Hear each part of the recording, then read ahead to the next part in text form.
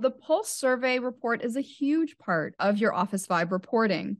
This is where you will see all your team's current and past responses to the Officevibe Pulse survey questions. And there are two ways that you can access this Pulse survey report. The first is when you go into your team hub, and then you can access the report by clicking on View Complete Report. The other way to access it would be from surveys, and then you click into Pulse survey, then you can choose which team you wish to look at, as well as the chosen time frame using the first two drop downs.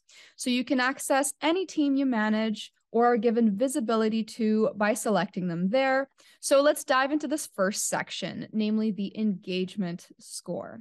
The first thing to keep in mind regarding your overall engagement score, it is a tool showing you how your team or company is feeling. It is a weighed 90-day average that encompasses all the scores from all your members across the 10 key metrics listed here below. The engagement score will only display the current score out of 10, daily, which will fluctuate as employees answer new surveys.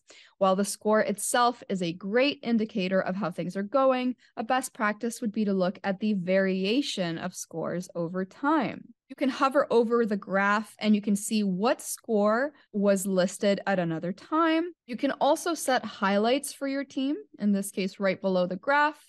You can enter the details and the date, and this will allow you to see changes happening as a result of certain moments. And you can also see which metrics have fluctuated the most below the 10 key metrics. Now, looking at the 10 key metrics will help you break down by topic to help you understand and analyze the results.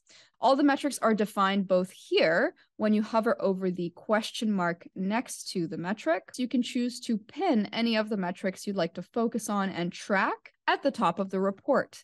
In this case, we have these two right here. We can always change this. In this case, let's say I want to focus on alignment, and recognition. So these can be top of mind for you.